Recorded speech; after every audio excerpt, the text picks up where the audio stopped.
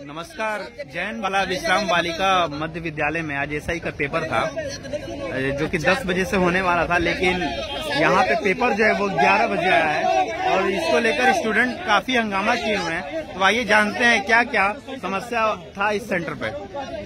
क्या सेंटर था मैम?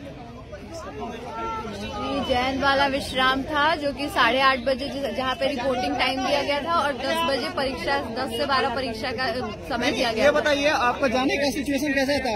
ये लोग का गाइडलाइन कैसा था? गार्डिंग वेडिंग था?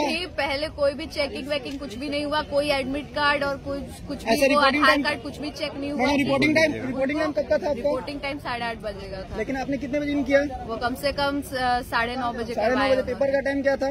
दस बजे लेकिन पेपर मिला कब आपको? कम से कम साढ़े दस बजे मिला है हाँ, देखिए क्वेश्चन जो है वो बाहर भी है बाहर भी आया हुआ है।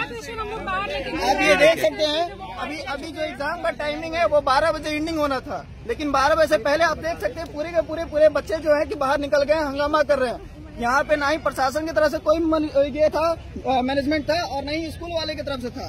कहीं भी कुछ नहीं था।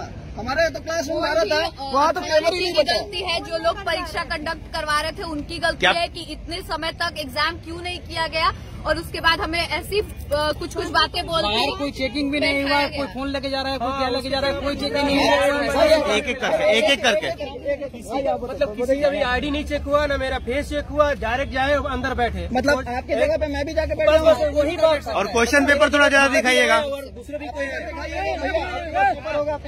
बोलिए।